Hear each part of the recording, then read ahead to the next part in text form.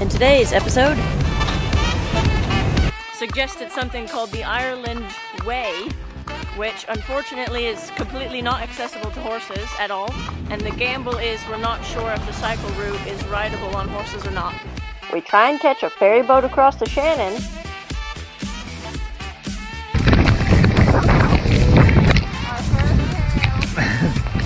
That was a bit crap.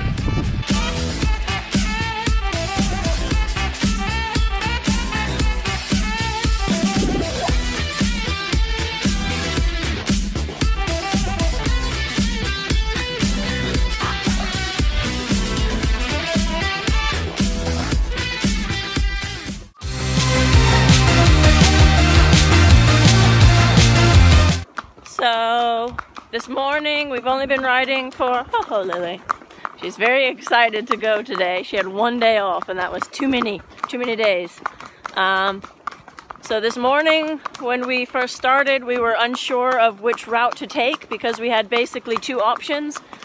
One was to try and catch a ferry boat across the Shannon, which would require finding someone with a horse box or a trailer um, to help us get on the ferry and cross to the other side. And that would have helped us avoid a lot of main roads and avoid a big city, Limerick. Um, the second option was the other day, I think actually yesterday on Facebook, one of my, um, one of the ladies who's been following the adventure, she suggested something called the Ireland Way, which unfortunately is completely not accessible to horses at all, um, as is basically everything in this country, not accessible to horses. And we decided that if we tried the Ireland Way, we would have to definitely avoid the walking routes because horses just cannot do it. It's not possible.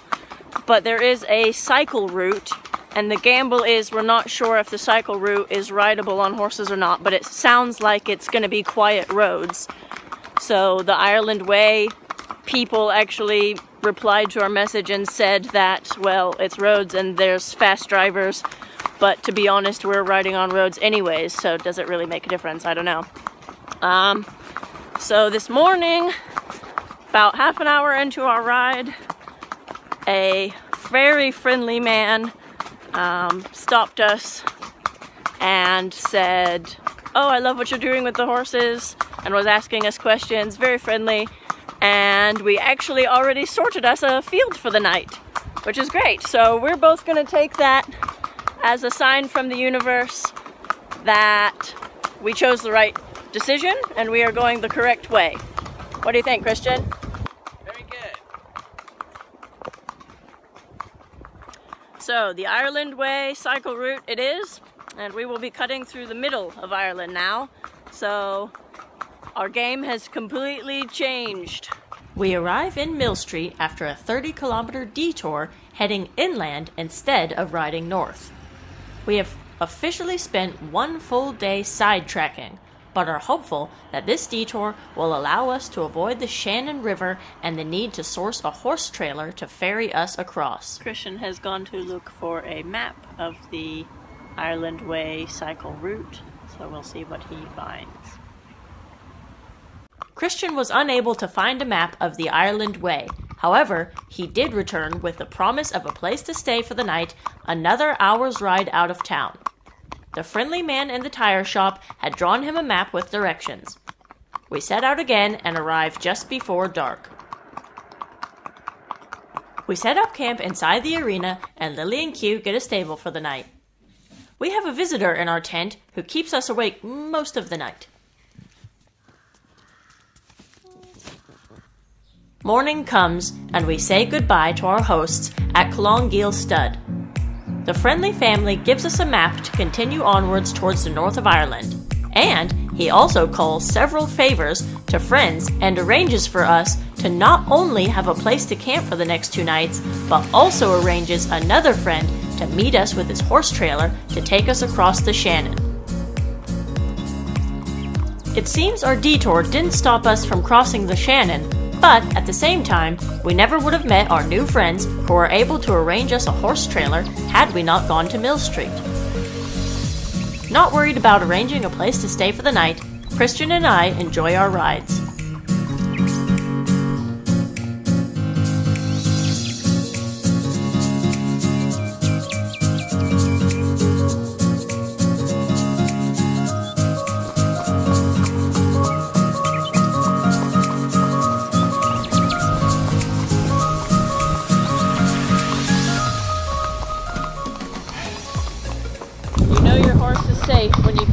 Soda can on top of her. And also that it doesn't bubble a lot. we stop for lunch at a grocery store.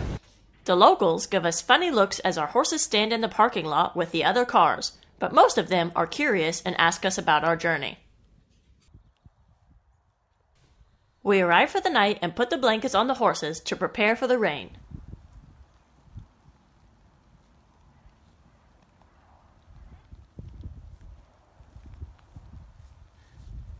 We pitch our tent on the hard cement floor inside the stable and awake to a lovely morning view and a very dirty lily. Both sides. She didn't miss a spot.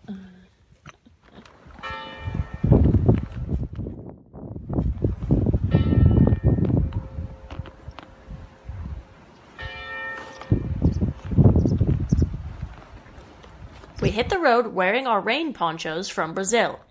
We expect a lot of rain in the next few days.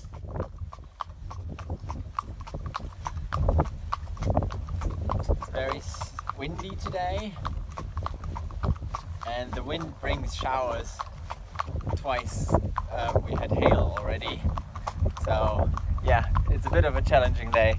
We don't get soaking wet, but we get sprayed a lot, and then we we even have to stop because the wind is so strong, um, and we can't hold on to our ponchos and everything.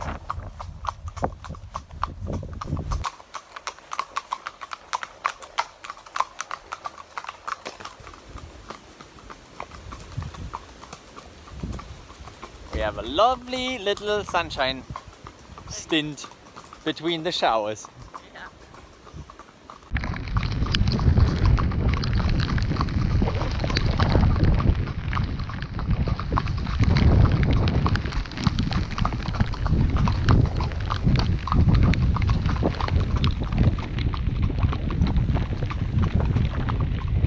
That's to be.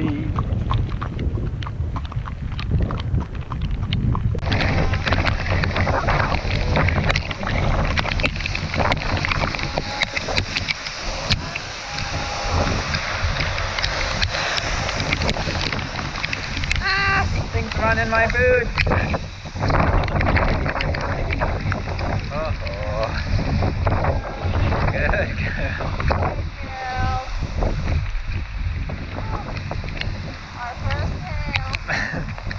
That was a bit crap.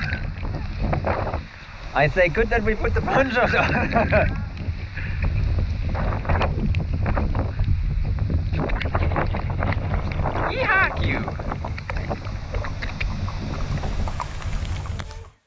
The next morning, we awake very early to try and meet our new friend and his horse trailer on time. We have a very limited window and need to catch the ferry boat before the last boat of the day.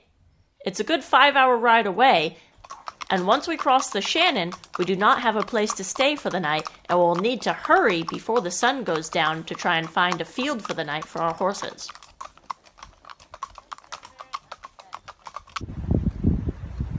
These are grazing on the church wall.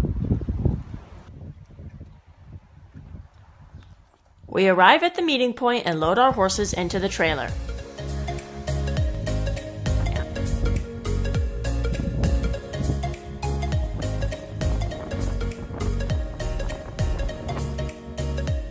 Drives us onto the ferry boat and we set sail.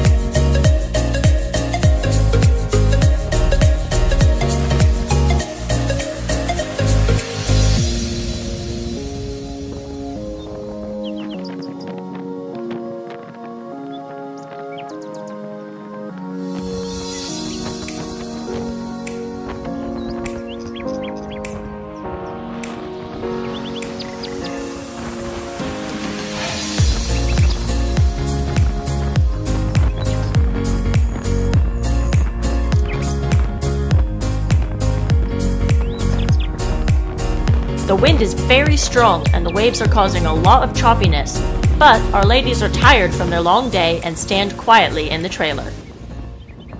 Our new friend drops us off in the parking lot on the other side of the ferry port and gets back on the ferry just before the last boat so he can go home.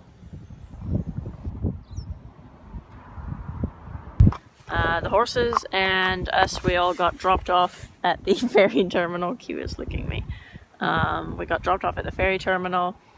Uh, we don't know where we're going to stay tonight. It's already like 5.15 in the evening. Um, that's our stuff there. So we basically just got dropped here with no place to stay. Don't really know what to do. Uh, Christian just ran. There's a pub just down the road, of course.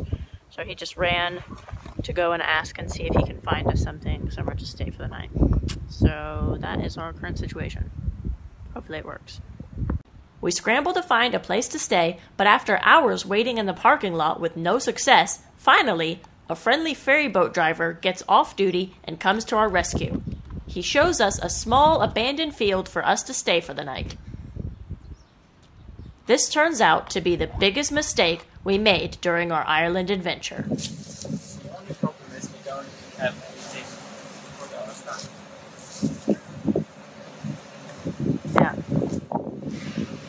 stuff. Yeah. And it's all wet. Read about our Ireland adventures in the Equestrian Adventuresses book series available on Amazon. Next time. The horses meet some unusual house guests. We end up in the city center. Lily is finally tired. We've gone a bit extra miles today than we needed to. It's not raining.